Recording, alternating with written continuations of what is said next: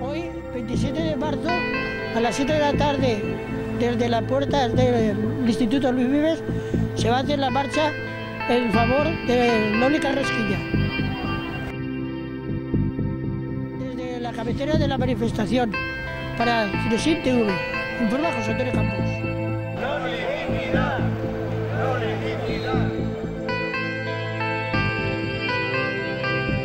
¡Cruel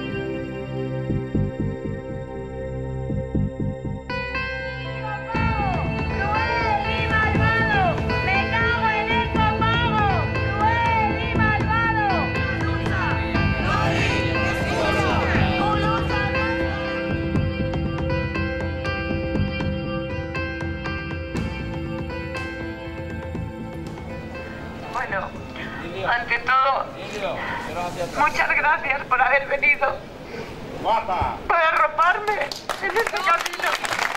Cuando decidí emprender esta marcha, nunca creí que tuviera tanta repercusión social, ni pretendí ser una estrella más. Quiero decir que lo que me llevó aquí fue la situación a lo que este gobierno nos ha llevado. Y que desde aquí, por favor, os pido que no me dejéis sola.